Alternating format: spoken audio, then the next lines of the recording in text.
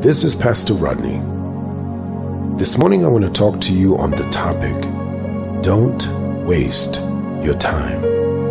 Don't waste your time. You know, I've always known that time is such a valuable resource. And if we're not careful, we can spend our days, our months, and our years thinking about the things that we want, but never exerting the energy and the effort, the perseverance and the tenacity to follow through.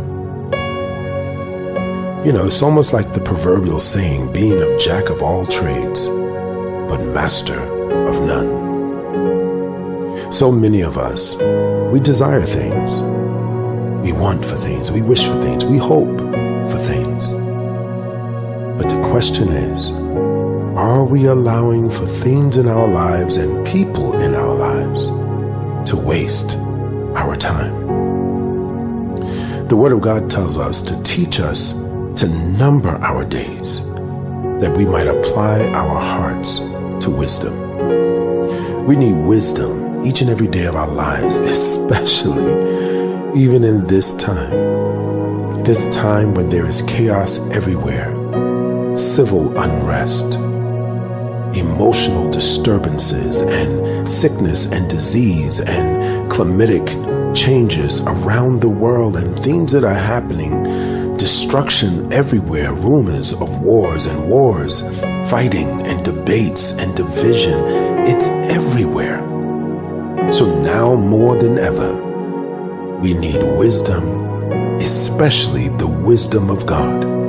That's why the Word of God tells us that if any of you lack wisdom, if you feel you need more wisdom, let him ask God who will give it to you freely, and he won't hold it back. He'll give you as much as you want. Wisdom is the ability to know the difference between how to use your knowledge and understanding most effectively. That's why I love what the Lord said through the prophet Isaiah. In Isaiah chapter 55, he says, Is anyone thirsty? Come and drink.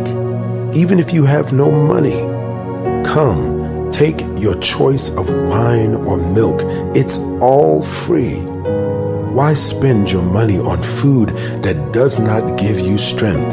Why pay for food that does you no good?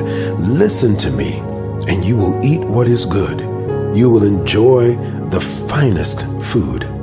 Come to me with your ears wide open. Listen, and you will find life. I will make an everlasting covenant with you.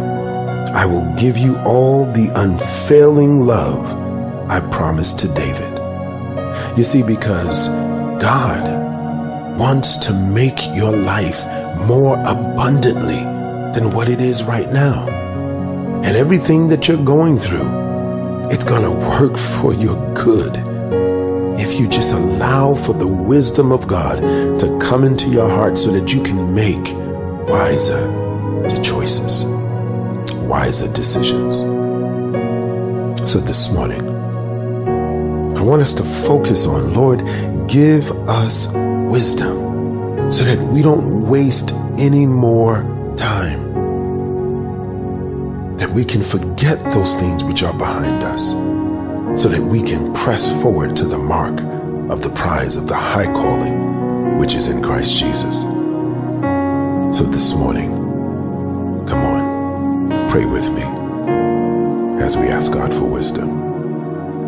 Heavenly Father, we come before you in Jesus' name, asking you for the knowledge, the wisdom, and the understanding to traverse this land, this life, and this day.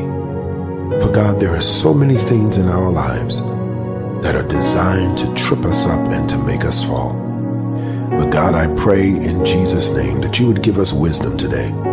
Teach us what we ought to do what we ought to say, where we ought to go, and where we should not go. And give us the strength, Lord God, to walk in your wisdom. We thank you, for wisdom comes from you. and we glorify you for it. So thank you for wisdom. In Jesus' name, we pause, we reflect, and we emerge to life. In Jesus' name.